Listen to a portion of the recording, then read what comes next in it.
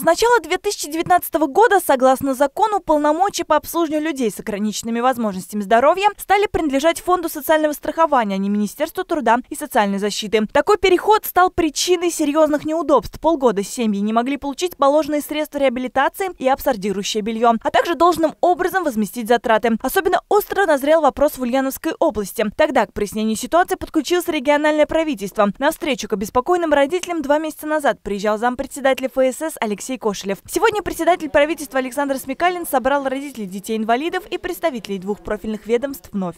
Что касается обеспечения технических средств реабилитации наших подведомственных учреждений, всего 735 человек в технических средствах инвалидов является наше учреждение подведомственных. Из них в технических средствах реабилитации нуждается 615 инвалидов, а в том числе 403 инвалида средств ежедневного пользования. На сегодняшний момент 95% а, получили уже средства реабилитации. Как пояснил Логинов, в целом ситуация во многом улучшилась. Почти все граждане этой категории получают необходимые средства без задержек. Открытыми остается вопрос по санитарно-курортному лечению и выплате компенсации. Но представители общественной организации родители детей-инвалидов в один голос уверяют, подгузники выдают, а вот качество их явно страдает. А, бывает так, что качество не совсем надлежащее. Вот на данный момент мы собираемся оспаривать, например, а, по подгузникам качества, то есть будем инициировать независимую оценку через ФСС.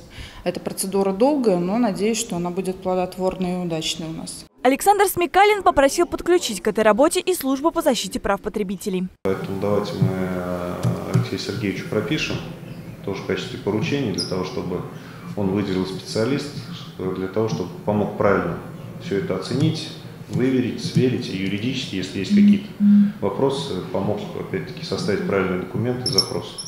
Однако в ходе беседы выяснилось, что ключевой проблемой остается налаживание обратной связи. Со слов родителей, трубки в региональном отделении ФСС так и не берут. Горячая линия недоступна. Как итог, узнать текущее состояние дел невозможно. Серьезные затруднения есть и по части оформления бумаг. Действительно, наверное, не до всех дозвонились, потому что организовали всю эту работу уже на системной э, основе э, полторы недели назад. Это связано и с э, кадровыми вопросами, это связано с техническими вопросами для того, чтобы, то есть, по поводу организации не коммутатора, а колл-центра в настоящее время требуются дополнительные средства, они запрошены. Точных сроков, когда заработает колл-центр, Сергей Фролов не называет. Ускорить этот процесс вызвался председатель правительства. Он вновь встретится с руководством Федерального фонда социального страхования, но уже в Москве. Готов в Москве встретиться с руководством ФСС уже лично обсуждать этот вопрос, потому что мы, мы точно это так не оставим, мы точно мы сделаем так, чтобы система работала хорошо. Там, уверен, что мы сможем найти вариант, как помочь Сергею Валентиновичу сделать эту работу.